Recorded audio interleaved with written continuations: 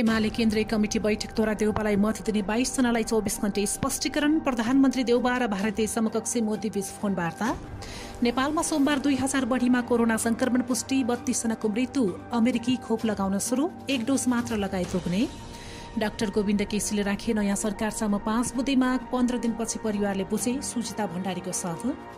चीनमा अर्को खतरनाक भाइरस फेला अफगानिस्तानले पाकिस्तानबाट आफ्ना राजदूत र कूटनीतिज्ञ फिर्ता बोलायो र सोमपाल कामीले चितवनको कप्तानी गर्ने नेपाली राष्ट्रिय महिला फुटबल टिमको बन्द प्रशिक्षण शुरू नमस्कार। दाक्सु टिभीको अफिसियल युट्युब मार्फत प्रसारण भइरहेको दिनभरको मुख्य खबरमा स्वागत छ म गोमा परियार। हामी हरेक दिन तपाईँमा ताजा बुलेटिन लिएर उपस्थित भइरहेका छौँ।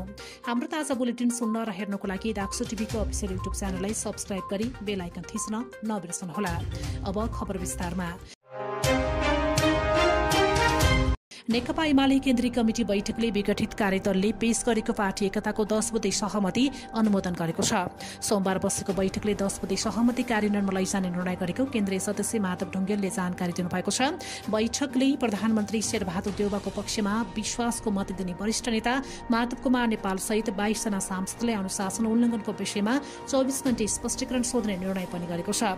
बैठकलाई सम्बोधन गर्दै अध्यक्ष केपी शर्मा ओलीले आफूले दश बुधे स्वीकार गरेर कार्यान्वयनमा अघि पनि माधव नेपालले नमानेको बताउनु भएको छ।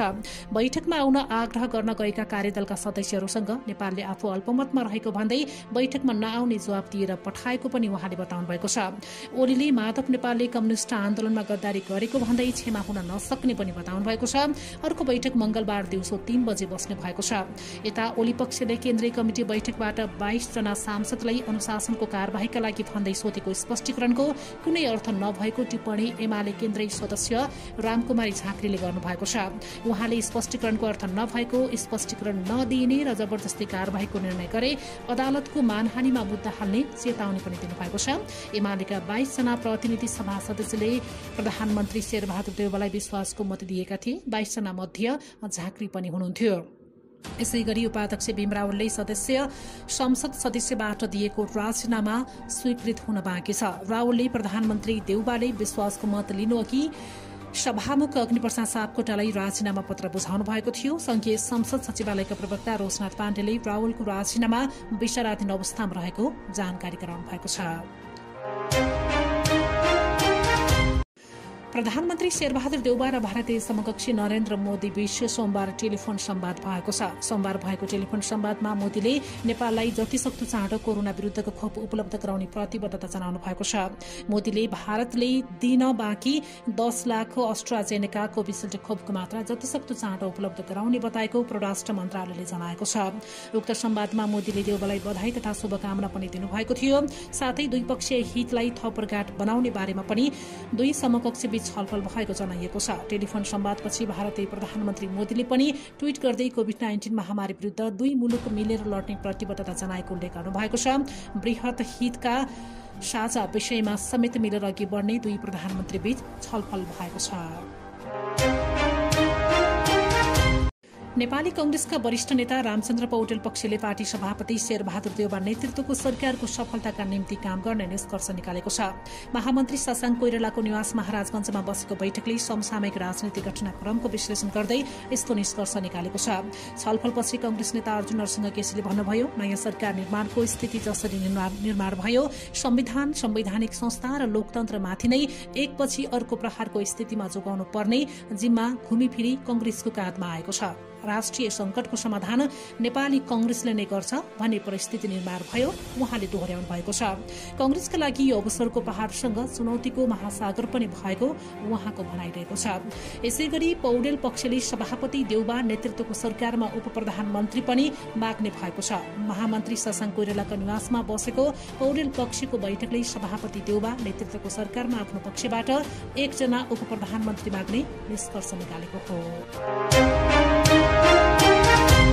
नेपालमा सोमबार दुई हजार चार सय पैंतालिसजनामा कोरोना संक्रमण पुष्टि भएको छ। स्वास्थ्य तथा जनसंख्या मन्त्रालयका अनुसार सात हजार आठ सय तेत्तीसजनामा गरिएको पीसीआर परीक्षणमा एक हजार छ सय बयालिसजना र तीन हजार आठ सय एकतिसजनामा गरिएको एन्टिजन परीक्षणमा आठ सय तीनजना गरी सो संख्यामा पुष्टि भएको हो।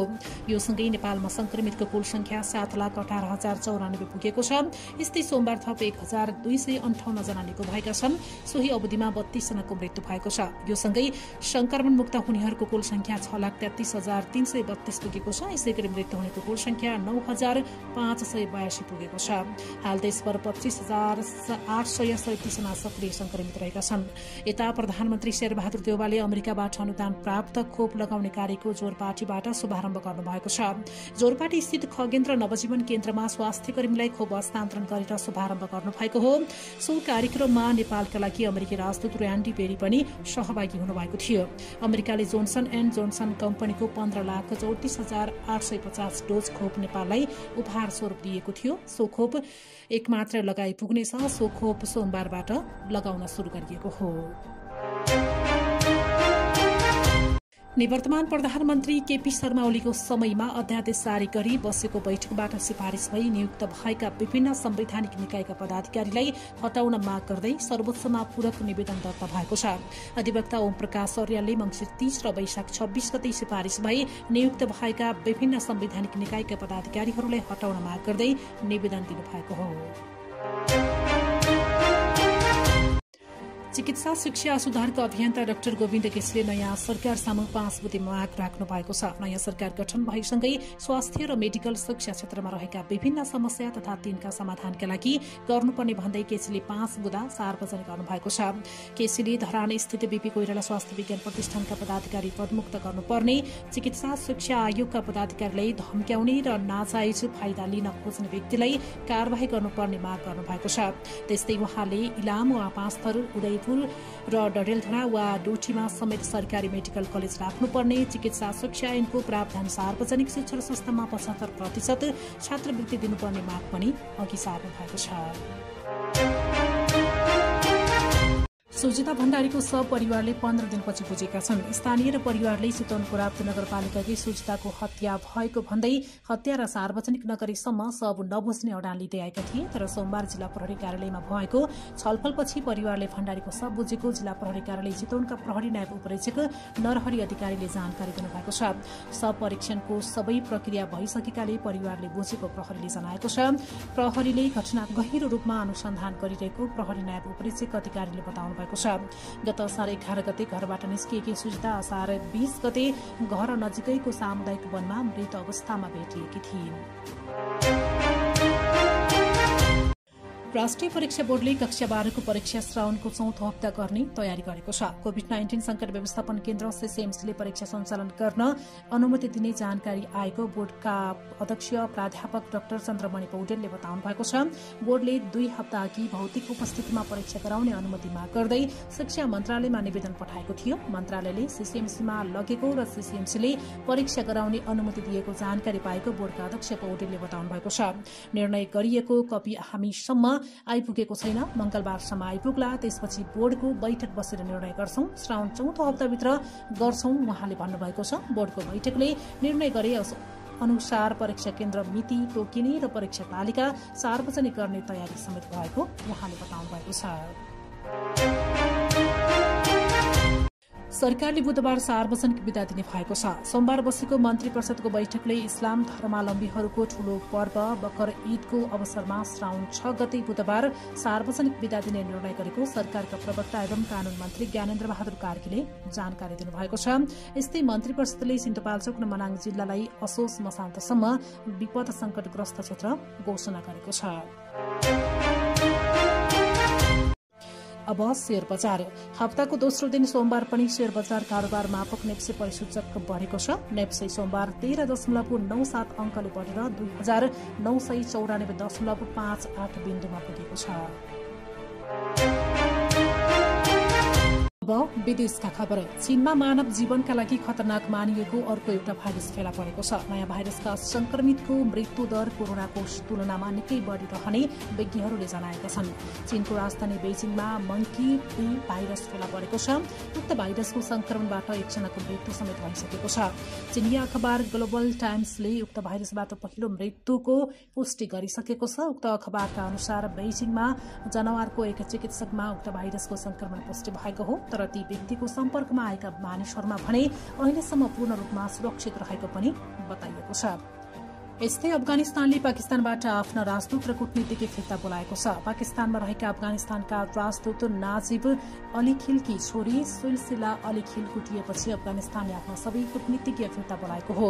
अफगान सरकारले अपराधीहरूको पक्राउ र सजाय सहित सुरक्षा खतराहरूको पूर्ण उन्मूलन नभएसम्म फिर्ता बोलाएको जानकारी गराएको छ। अब खेल खबर। राष्ट्रिय टीमका अलराउण्डर सोमपार कामीले चौथो संस्करणको Everest premier league APL T twenty क्रिकेटमा चितौन टाइगर्सको कप्तानी गर्नुभएका छन्। चितौनले एक विज्ञप्ति निकाल्दै सोमपालले टीमको कप्तानी गर्ने जनाएको छ। र एएफसी महिला एसियन कप छनौटका लागि नेपाल राष्ट्रिय महिला फुटबल टीमको बन्द प्रशिक्षण शुरू भएको छ। एएफसी महिला एसियन कप दुई हजार बाइसको छनौटका लागि मुख्य प्रशिक्षक ग्यारी फिलिप्सले बन्द प्रशिक्षणमा पैंतालिस खेलाडीलाई बोलाएको अखिल नेपाल फुटबल संघ एन्फाले जनाएको छ। गत फागुनमा भएको राष्ट्रिय लीगमा गरेको प्रदर्शनका आधारमा बन्द प्रशिक्षणका खेलाडी छनौट गरिएको हो। हवस् त अहिलेको लागि खबर यति नै। भोलि फेरि मुख्य खबरका साथमा उपस्थित हुनेछौँ। डाक्सु टिभीको अफिसियल युट्युब च्यानललाई हेर्दै गर्नुहोला। नमस्कार।